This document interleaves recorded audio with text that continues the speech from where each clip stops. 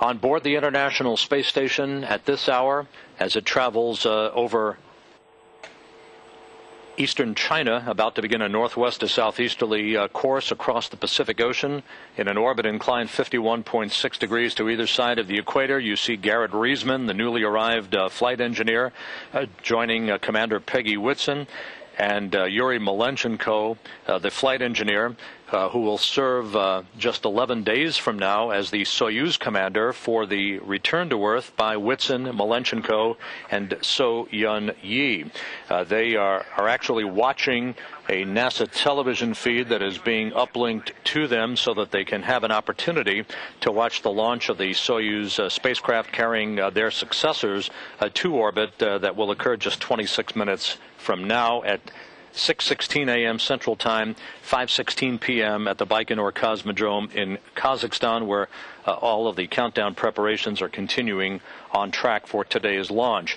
For Whitson and Malenchenko, this is their 181st day in space, their 179th day aboard the International Space Station.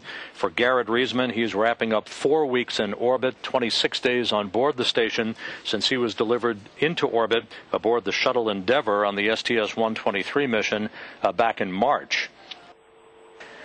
Reisman will remain on board the International Space Station until June with Volkov and uh, Kononenko once they complete their handover uh, from Whitson and Malenchenko a handover that over the course of the next uh, week and a half will include um, robotics training, uh, basically uh, station uh, systems familiarization, an opportunity uh, to uh, have Volkov and Kononenko get acquainted with the massively expanded International Space Station that now enjoys more volume than ever before, almost 60% of the station now having been completed.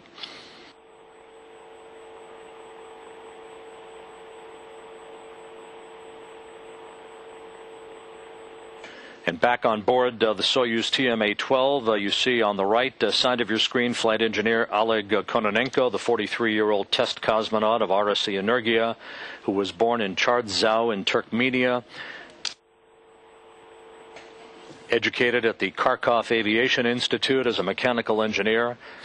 Uh, to his right, on the left side of your screen, is uh, the commander for Expedition 17, Sergei Volkov, 35 year old Russian Air Force lieutenant colonel, born in Chuguyev in the Kharkov region of Ukraine, a second generation cosmonaut, the son of famed Russian cosmonaut Alexander Volkov.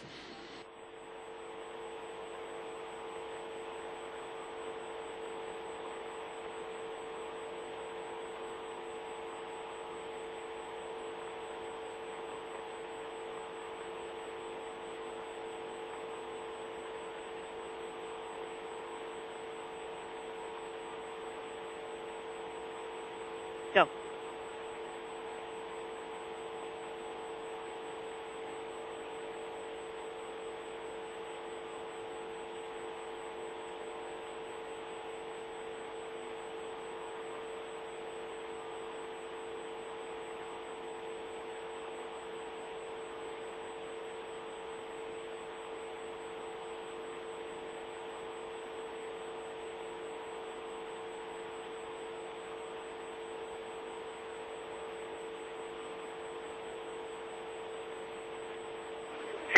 МКС ответит ЦУПу Москвы, канал СГ-1 для переговоров. ISS Mission Control Moscow SG-1 for the visiting cruise program takeoff.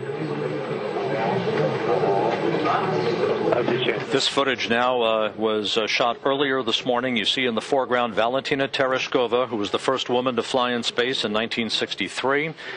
A short time from now, just 23 minutes from now, So-yeon Yi, at the age of 29, will become the youngest woman ever to fly in space. You see her parents uh, watching her suit up today in the Site 254 integration and assembly facility at the Baikonur Cosmodrome in Kazakhstan. The uh, crew uh, arrived uh, to begin their suit up procedures about 1:30 Central Time uh, this morning. A large uh, crowd of well-wishers uh, on hand. Uh, following uh, the suit up, uh, the crew uh, made its way in the traditional walk towards uh, their greeting to the head of the State Commission before boarding the bus under clear skies behind Sergei Volkov. Valery Korzun, who was the Expedition 5 commander along with Peggy Whitson back in 2002. And you see final uh, well wishes and uh, greetings and waves uh, to the uh, assembled uh, media and officials uh, at outside the Site 254 integration facility at the Baikonur Cosmodrome in Kazakhstan as the crew then made its way onto the bus to head to the launch pad.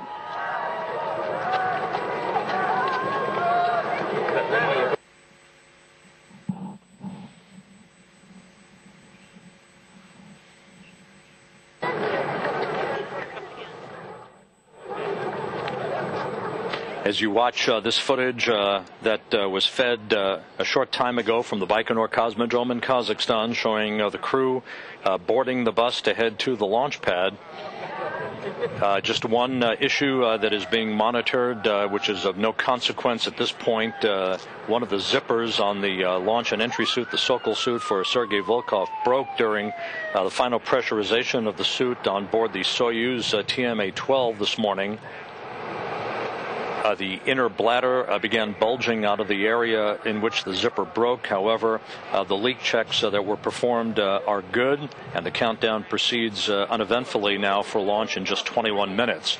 You see at the launch pad now the crew in its final farewell to the well wishers as they began to ride the elevator up to the crew portion uh, where they uh, climbed inside the very tiny Soyuz TMA-12 uh, to begin to strap in for final pre-launch checks and preparations for liftoff that is scheduled less than 21 minutes from now at 6:16 a.m. Central Time.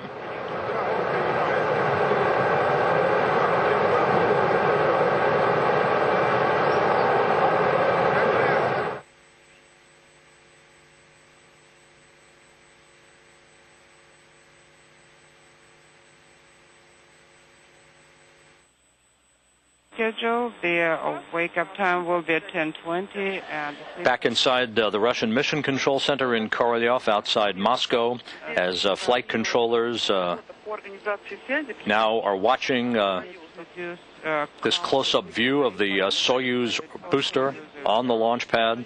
You'll be in your Soyuz. The um, once again, uh, the Soyuz rocket standing 168 feet tall, weighing 680,000 pounds at launch, ready to lift off less than 20 minutes from now to carry the next residents to the International Space Station. Do you have questions? No. Uh, April 12th, we plan uh, to conduct the handover and in the nearest future, today or tomorrow, we'll uplink the uh, radiogram on board with our recommendations on the handover. And for each day where handovers will be scheduled, we'll be planning the specifics for these activities. And also, when you down at the Baikonur Cosmodrome, uh, a large contingent of uh, officials from the government of South Korea, along with the uh, Korean Aviation Research Institute, which was the sponsoring agency for the commercial agreement with the Russian Federal Space Agency that enabled uh, So-yeon Yi to be uh, chosen uh, to fly in space to the International Space Station for her nine days on board the complex. The NASA delegation down at the Baikonur Cosmodrome today, led by Phil Cleary, the Director of Human Spaceflight Operations in Russia.